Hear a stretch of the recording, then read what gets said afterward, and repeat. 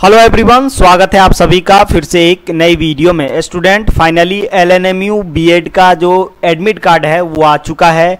जो भी student BEd का इंट्रेंस एग्ज़ाम दे रहे हैं, अगर उनको एग्ज़ाम देने जाना है तो इस वीडियो को ज़रूर देखिएगा। अगर एग्ज़ाम से पहले कुछ गलतियाँ कर देते हैं। एग्ज़ाम सेंटर पर क्या लेकर के जाना है, सारा इन्फॉर्मेशन हम आपको इस वीडियो में देने वाले हैं। अगर आपका एडमिट कार्ड डाउनलोड नहीं हो रहा है तो उस पर भी मैंने वीडियोस बना दिया है कि कैसे आप एडमिट कार्ड डाउनलोड कर सकते हैं।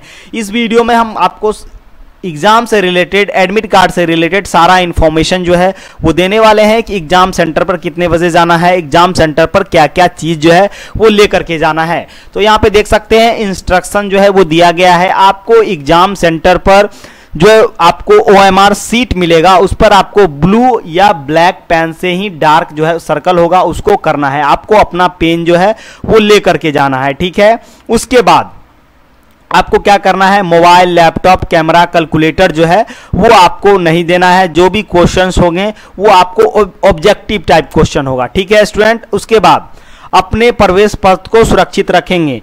जो एडमिट कार्ड है, उसका दो कॉपी आप लोगों को ले जाना है। एक साइन करके वहाँ आपको दे देना है, एक आपको रख लेना है। ठीक है, जिस पर इनविजिलेटर का साइन होगा, वो अगर आप नहीं रखते हैं तो एडमिशन के टाइम में आपको प्रॉब्लम हो सकती है। ठीक है स्टूडेंट आपको एग्ज़ाम जो है वो 11 बजे से है, लेकिन आपको एग्ज़ाम सेंटर पर 9 बजे से उपस्थित हो जाना है।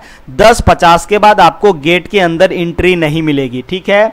उसके बाद एग्ज़ाम जो चलेगा वो एक बजे तक चलेगा। एक बजे से पहले आपको बाहर नहीं जाने दिया जाएगा।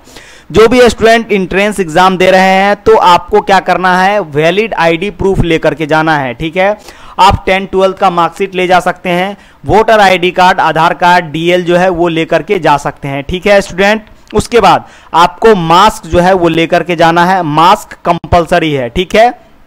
उसके बाद मास्क जो है वो आपको हमेशा पहनना है, ठीक है? तो यही गाइडलाइंस जो है, इसको आप लोगों को फॉलो करना है, ठीक है? उसके बाद नीचे पर यहाँ यहाँ पर देख सकते हैं कुछ इंस्ट्रक्शन और दिया गया है। Candidate has to submit this copy of admit card invigilator signing in ठीक है?